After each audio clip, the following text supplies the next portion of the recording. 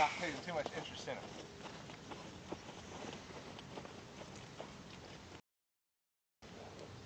Another thing I like to do with the horses, I like to get them to react and respond to me. So what I do is uh, I try to get her to mimic my body. Horses understand body language. That's why they have such a hard time with men. Because men kind of go like this.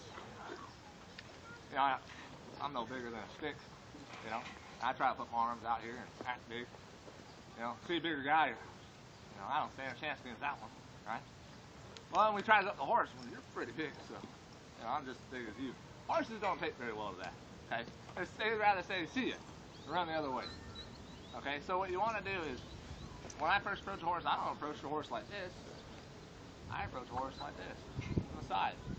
I'm not as big now, right? And horses will respond to that a lot better. When I first meet horses, you know, we got tall guys out here. Horses try to get their head up above mine. They want to bigger me. You know, horses don't like things that are above their head because anything bad can come from there, right? So it takes a a long time being around me for them to relax and get calm about things, right? So when I when I work with her, I want her to mimic my body language. I pick my leg up. I want her to pick her leg up Yeah. Okay. And then when I relax, you better, you better pay attention, right? Now, there's a long ways to go now, there. I, I want my horse, when I hold my leg up, she holds her leg up. But I think that's just too much work for her right now. You know, she's, ah, the muscles get sore real quick because we don't work out very much. So when I start getting her work, she gets a little upset with me. I want to relax. Oh, oh. Wrong leg. This leg. There. The other leg. Now relax. Relax.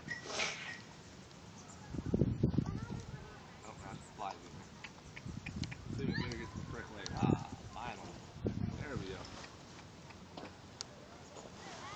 Now get the other. Okay. Good. Ah, relax. So, at the end of a long day, what I like to do with my horse is typically do it in the shade, so we ain't got too much shade, so she's not gonna appreciate it too much. I like to have my horses relax with me. Okay. When they give me that leg here.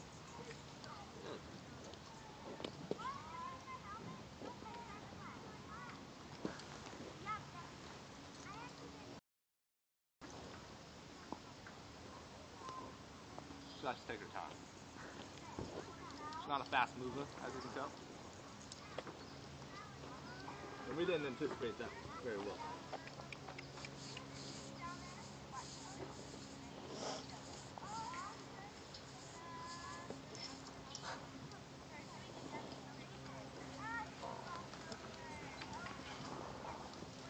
She's trying to roll. She likes to do her own, own style.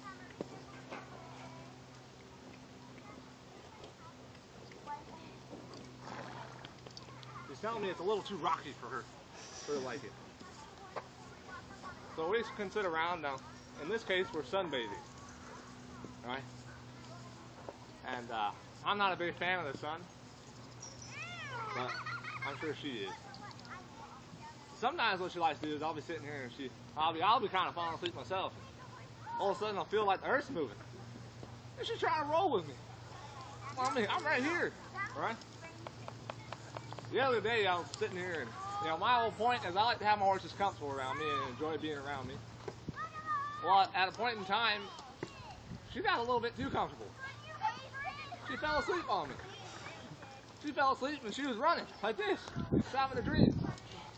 I stood up and I thought my horse was having a seizure. She never slept with me before. I usually have a hard time getting her just relax. So I was, you know, I went around and slapped her on the belly. I got no response. And I went up and slapped her on the shoulder. No response. Finally went up and slapped her upside the face. And she whoop, got up and ran off and tripped and stumbled. And she started whinnying and running around. I was like, oh shit, I'm sorry. Uh, she must have been sleeping. they didn't have a, uh, that horse, this horse never slept with me, so I told her not to ever get that comfortable again. I thought I killed my horse. That's a little bit too comfortable. We're taking it too far. Uh, one of the biggest things with horses is get a lot of people have a hard time getting their horses this stage, and a lot of it is just uh, a lack of work.